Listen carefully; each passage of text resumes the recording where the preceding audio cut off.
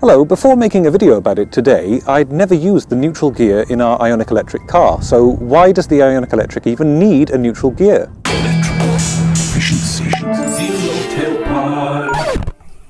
I've come to electric cars from driving manual or stick shift cars, so there I would be used to using neutral to sort of not have the gears engaged for a long time when you're stopped, say, in traffic or at traffic signals and so on, not to burn out your clutch.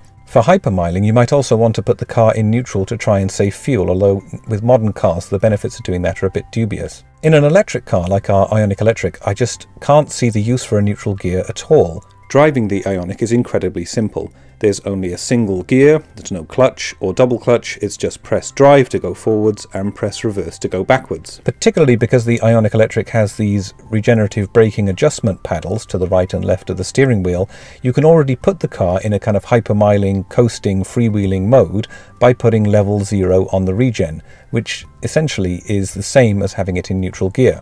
So I'm going to demonstrate that now by coasting with it in neutral and coasting with it in the zero, the level zero regen, which is the coasting level of the regen.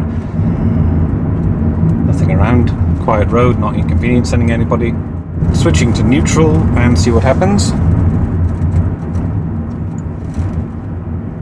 Okay, so zero energy use, and we're just kind of rolling back into drive. Okay, now doing the same thing, but just uh, after having reduced the regen to nothing, just taking my foot off, off the accelerator, and again, zero energy use, and just basically rolling. So the experience of being in level zero regen is just the same as neutral. There's just no benefit to use neutral while driving, even if it is legal where you are in the world.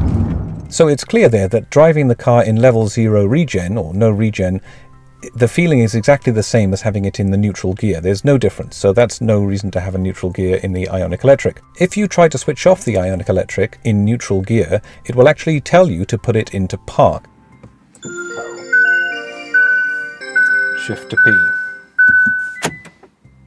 So that's of no use either. You can't use the neutral gear in the IONIQ Electric to leave the transmission unlocked if you wanted to do that. The only reason I can think of that the IONIQ Electric still has a neutral gear is for a breakdown of some kind where you need to be towed. The IONIQ Electric, like other electric cars, has special towing instructions, as we can see here.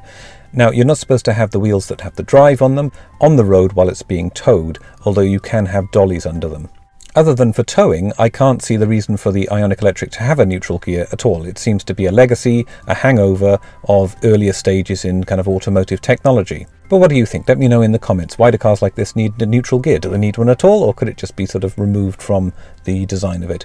Okay, so I hope you enjoyed this short video. Please subscribe and comment if you'd like to, and bye for now.